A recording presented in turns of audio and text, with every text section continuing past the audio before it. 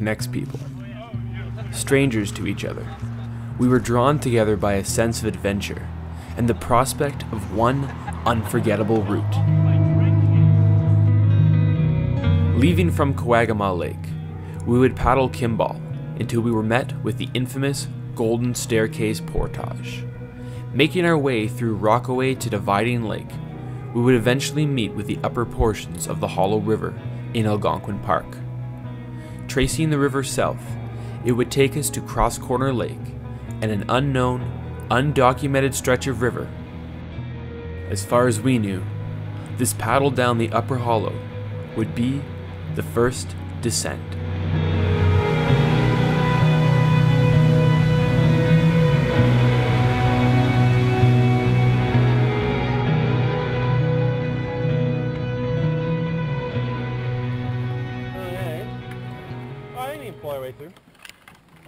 Early on, it became evident this expedition was going to be challenging.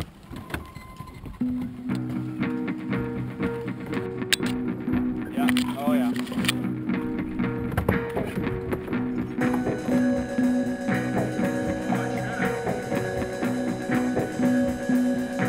Pushing our way up a narrow Kimball Creek, we knew we were strangers no more. Bonded by canoe, adventure, and anticipation, we forged onwards to the Golden Staircase.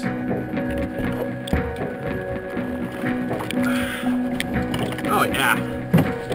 Nothing to it.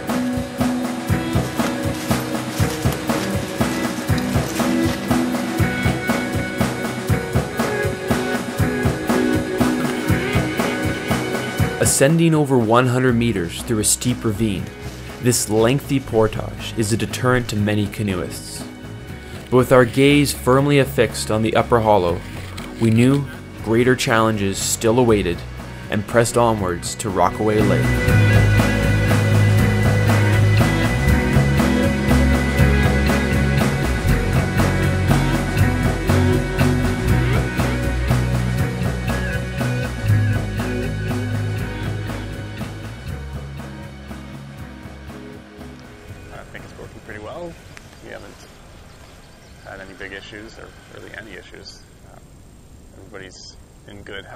Maybe slightly beat up, but we're hanging on and we're making good time. Eager, excited, energized. We were ready to cross over the knolls and reach the upper hollow. Under sunny skies, we departed Rockaway, and with a celebratory shot, we were ready. It's all downhill from here. Cheers. Here, baby. It's like a diamond. Holding on the line. So it bypasses this whole part. It goes into the into the creek. It's like a rain cloud. Maybe too eager. Bypassing a portage, we soon found ourselves waist deep in bog. But we sought adventure, and a little slog before we reached open river was in a way just what we needed. Besides, who actually enjoys portaging? Cause I need you.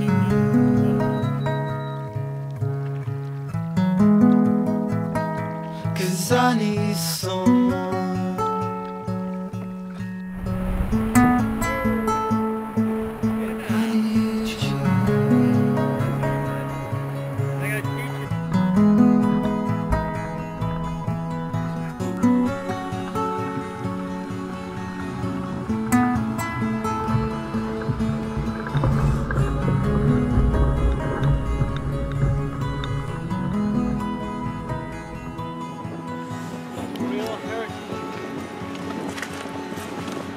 Well, we've entered the hollow probably what maybe about an hour ago.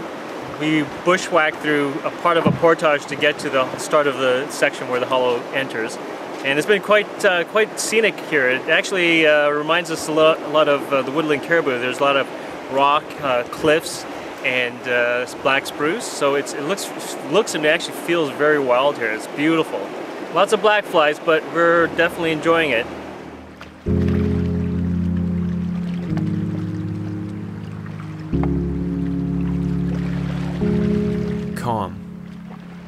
Still.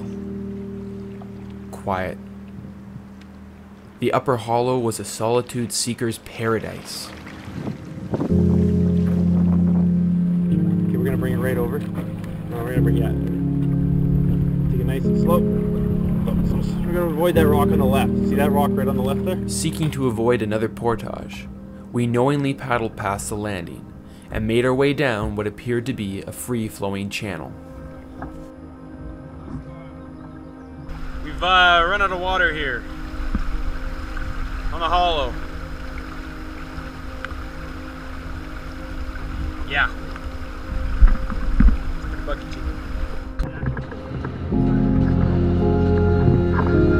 We were fools. Was this a fool's adventure? Were we so blinded by a desire to explore, to push boundaries, avoid the easy way out? It's not that we avoided the portage, but were the shallow waters a hint of what was to come? Had we doomed ourselves, committed to a river of rocks and logs, and no water?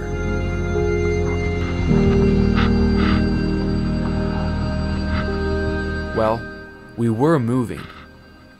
Barely. Slowly making our way to Cross Corner Lake. Inch by inch. Minute by minute. Would we find open water?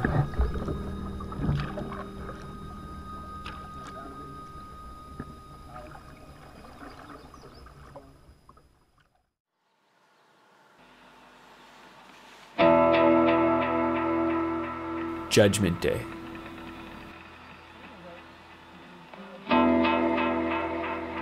The dawn of what would make or break the trip. We're on the western fringes of Algonquin Provincial Park, and our exit way today is probably one of the first ever descents of the Upper Hollow River. What makes this interesting is that it could very well be a first descent of this river, and also there's about 60 meters worth of drops over 800 meters, and we don't know if there's a portage trail at all. To our knowledge, nothing exists. So it could get very interesting, uh, but we're prepared and we're going to see what the day brings us.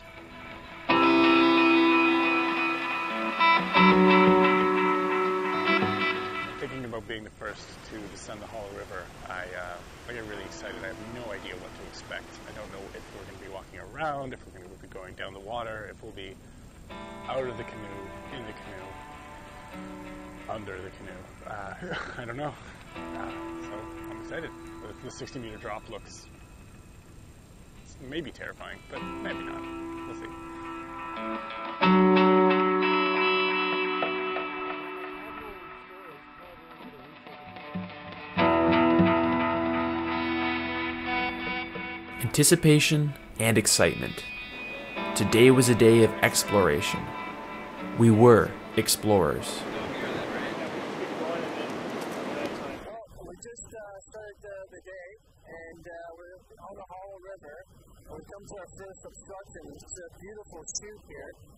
Um, we thought we might be the first to be descending here, but interestingly enough, we've already found a nice worn trail around the chute, which is great because you know we don't have to bushwhack through this section.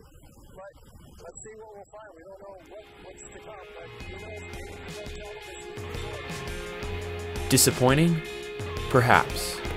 But we were still about to descend into a river of uncertainties. It was evident someone had tried to descend the upper hollow. But did they succeed? Or did they turn tail and head back? We'd know soon enough.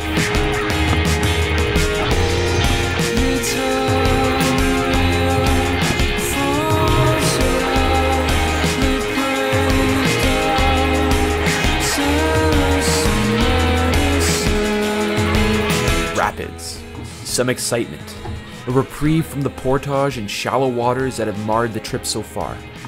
Undocumented and unknown, our spirits were high as we pushed downstream.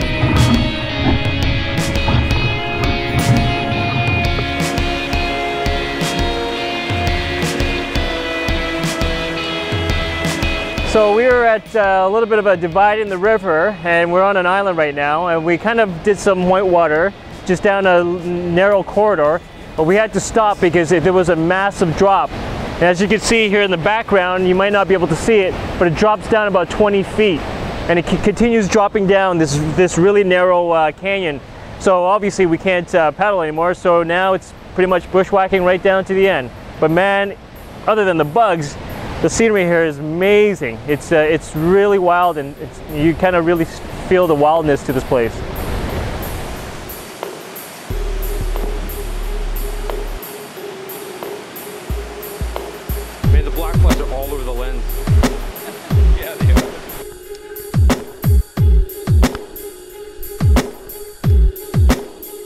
Well, we were portaging. Bushwhacking, actually. The 60 meter drop coursed through an impressive canyon, unrunnable in any boat. My moment of manhood. Yeah, no kidding? As we forged ahead, it was becoming more and more evident that other adventurers had likely turned around. Pestered by swarms of blackflies, we took pause in the woods.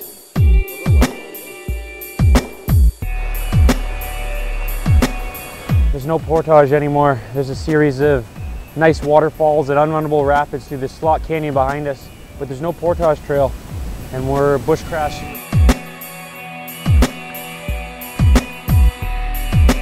That day wore on, and 800 meters slowly became 2 kilometers.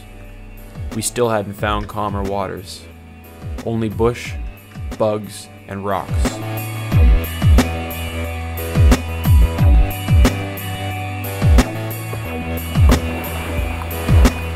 But with time, everything changes.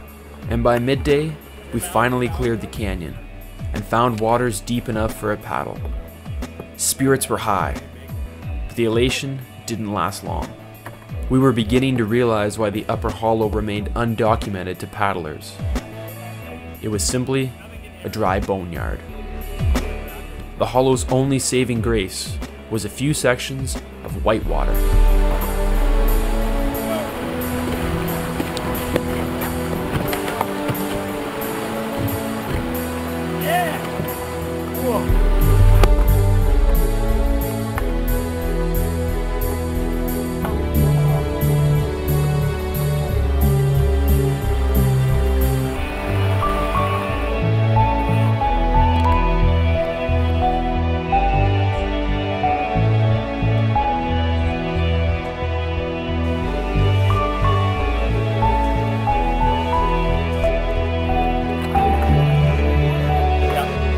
We eventually found deeper waters. We had successfully descended the upper hollow, and while not practical, it was possible. We had achieved what we set out to do document the river's first ascent. As we paddled on, one thing became clear we would be back. But that's a tale for another time.